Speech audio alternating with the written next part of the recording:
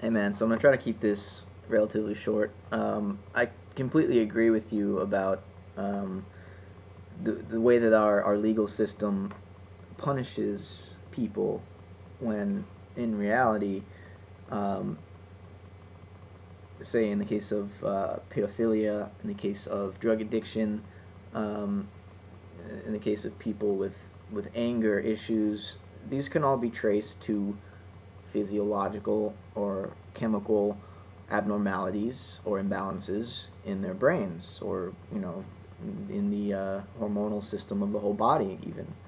And so to punish them or to seek retribution uh, for something they have done no matter how horrible is kind of uh, it's just it's a delusion on the part of the justice system and society to do so um, and for instance, by arresting drug users, especially nonviolent drug users, uh, and putting them in prison, we're not doing them a favor or the society a favor because we're spending, you know, tons of money to punish them. Um, and in so doing, we're turning them into hardened criminals because they're in prison, um, learning from other criminals how to hate society and, and how to, um, you know, become more violent and so forth.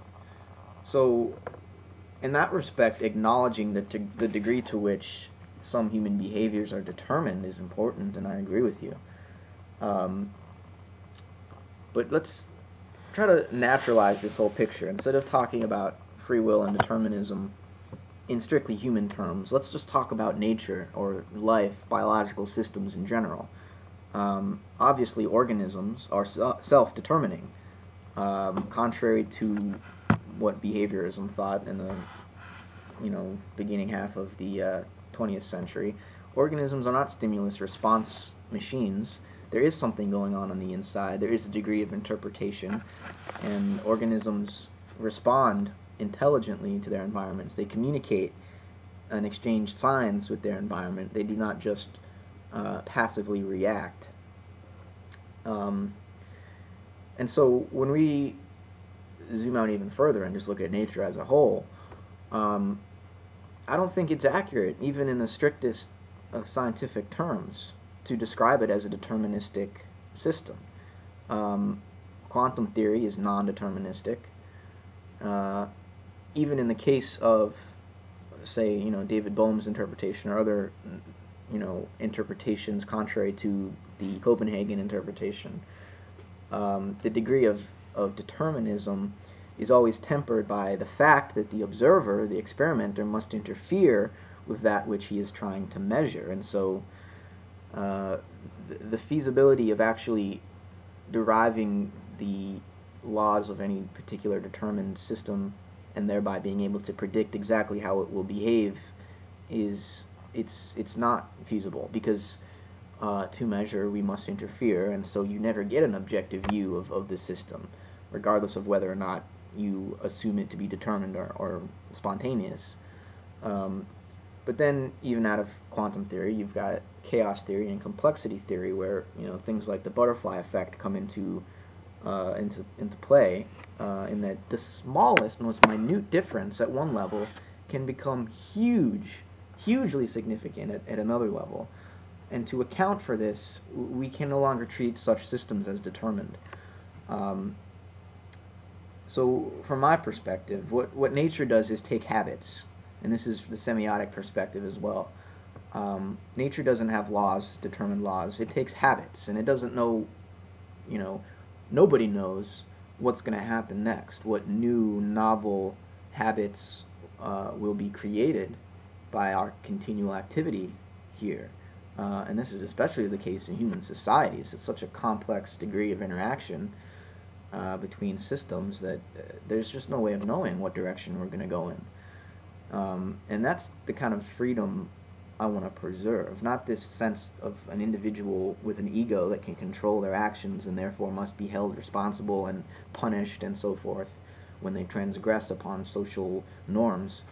Uh, you know, certainly a society must deal with that in some way, but I think rehabilitation is better than punishment or retribution, which the, you know that's just asinine as far as I'm concerned. So I agree with you there. Um, but there is a degree of novelty in nature itself, um, a degree of non-determinism, of creativity that we can't account for um, through uh, a determined type description. That's what I'm trying to preserve. Um, and I'm not sure if you'll disagree with this construal of, of freedom.